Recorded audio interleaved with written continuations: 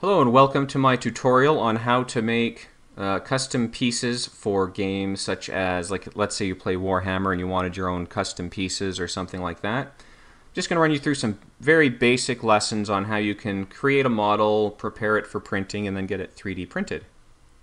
Okay. So this should you should be able to follow along even if you don't have any real background in 3D modeling. If you do have a background, this might be more simple for you than you need. So you could probably find some other tutorials that go into a little more advanced work. But just when I was starting out, I had a hard time finding any anything to help me, so I thought I'd make one. For those of you who are starting out, you maybe you're not interested so much in learning the 3D modeling aspect, but you still want to be able to kind of make some cool stuff. We're going to start off with just a very basic, simple miniature. It's not one that we'd actually probably use as a game miniature, but you can take these principles, practice, and as you get better, you can add more stuff and everything. What you will need are three programs to follow along. There are three uh, free programs that we're going to be using. So you can go, go onto websites and download these for free. Let's go do a, a search on the internet.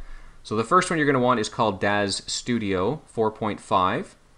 Blender is the second one we're going to use, and then Netfabb Studio. So once you downloaded these three programs, or you know, just follow along, you can do this later. It's fairly straightforward. Uh, we're going to be using three of these. So the first one we're going to use in the first part of the tutorial is DAZ Studio. So what we're going to be doing in here is setting up a model, the basic shape of a model that we want to use for our miniature. So when you first download the program, assuming you got the 4.5 or even the 4.0 version, you should have this generic model. Okay, this is the Genesis model. The nice thing with the Genesis model is you can do a lot of shaping with it, and it is manifold. So I guess there's two really good things about it. So first of all, the shaping. If you go to the shaping here, you should have some dials on the right. Uh, if it doesn't open up quite here, just click around on these buttons. It'll show you various shapes you can do. If you're using the free version, you won't have all the ones you see on my screen, but you should have the basic female. So I'm just going to make a girl walking in the park sort of a model today. So just, you know, turn that up to 100% female.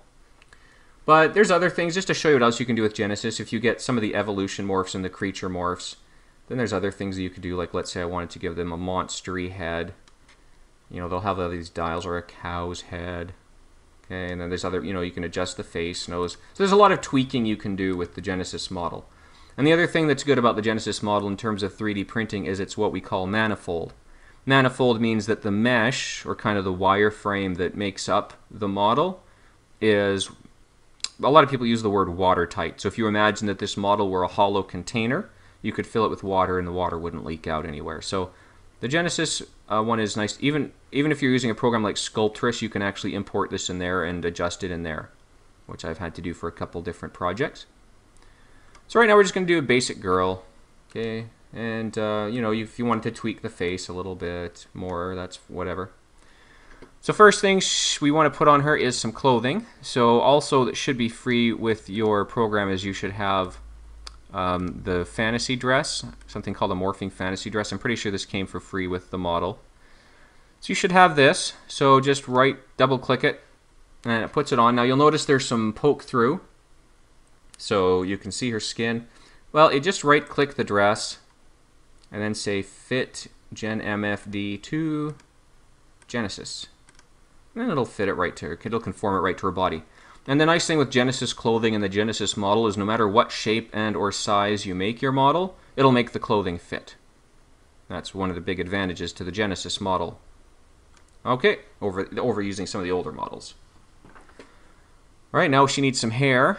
Hair can be the tricky one to deal with in getting something ready for 3D print. Sometimes the hair meshes are kind of convoluted and they're not typically manifold. And I was having a hard time with the ones that came for free with the program, but if you go to sharecg.com, you can find other things. And I found one person who made a lot of hairstyles uh, uh, and with unrestricted use. You always want to check the license agreements uh, when you're 3D printing. So with anything you get through DAZ Studio, you should be okay. It is a gray area with their EULA, their license agreement, but they've okayed for 3D printing. But anything you get from anybody else, you need to make sure that their license agreement says that you can use it. So this is a hair called Kolomi, and it's by somebody named Milochka from sharecg.com. And she had unrestricted use on this hair, which means I can do whatever I want with it. And so I'm going to use this one because I've already used it before and I know it has a fairly straight mesh. Okay.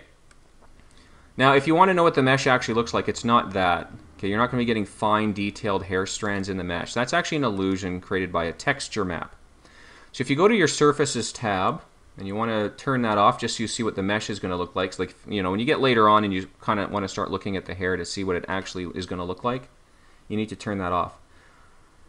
So I'm going to select the hair, okay, and uh, I need to turn off the maps.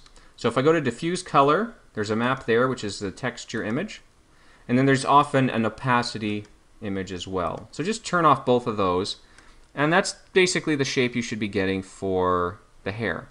Now the hair itself is too thin to print. You're going to notice the dress as well if you kind of go down here. Look how thin that is. That 3D printing isn't going to print stuff like that. We're going to have to adjust both of these. We're going to do that in Blender later. Okay, so right now we've got uh, hair and we've got a dress. Now you want to make sure the hair is attached to the head because we're going to move the model to pose her.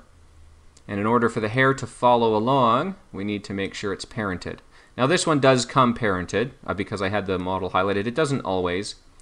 And so if it's not, or if it's in the wrong position, you can move it around with the pose to get it on the head, and then you'll have to parent it. Uh, if it says none, then you have to just scroll up and click where you want it. So you just put it on the Genesis head. Okay. If you needed to move, like if it didn't show up right in, in the right place, you can use these translation, you know, stuff to move the hair up and down and get it in the right place. All right, so now we're going to pose our model. So just right click the model and then make sure you hit select Genesis. Make sure you're not selecting just the dress because it'll come up with both options.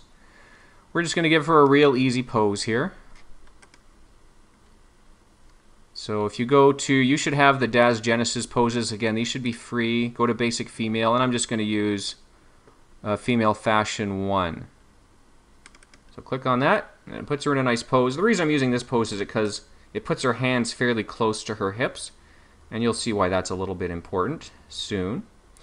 The other problem you're going to notice is that her dress didn't move to conform with her legs, and I have that hard time sometimes with the dress. I have an easier time working with this dress if I shorten it a little. So go ahead, right click on the dress, and this time you want to make sure you, collect, you select the dress and not the Genesis model. And then we're going to shape it, or parameters I guess, and go to styles if it's not already there. Make that dress a little shorter. Just makes it a little easier to work with. Okay. You also have different areas in here you can move and you know the dress. You can also just select portions or parts of the dress you want to work with. So let's, uh, let's take a look what we can do. So front left, we want to put forward a little bit. So we just want to make sure we're covering her legs here. Front right. Okay. So I'm going to have to do some more specific fine tuning. So I'm just going to select here and just use these dials a little. There we go. Just want to make sure her legs are inside her dress, basically. So it's kind of got a swooping look to it. That should be fine. Looks like she's kind of walking along in a breeze or whatever. Okay. So I think that's good. So now what we need to do is export the model. Uh, send this to Blender. So what we're going to do is go to File, Export. I'm just going to save it to my desktop, and we'll just call it Girl for now. And I'm saving it as a wavefront object. Now, uh, there are various options you have. There's even one that says Blender. Don't use those right now. You'll see why shortly. Uh, anytime you export it, there's different strategies the computer uses to prepare the model uh, and the Blender will import them differently. The way I found best so far is to just click these checks all on the left. Don't check anything else. So you should have all these ones checked. Should say custom here. And then all these I just turn off. Okay, so we'll accept that. And there you go. So we'll close our uh, window there. And now um, this is the end of this part of the tutorial. I'm kind of breaking it up into shorter chunks. The next part I'll be showing you how to work with that model in Blender.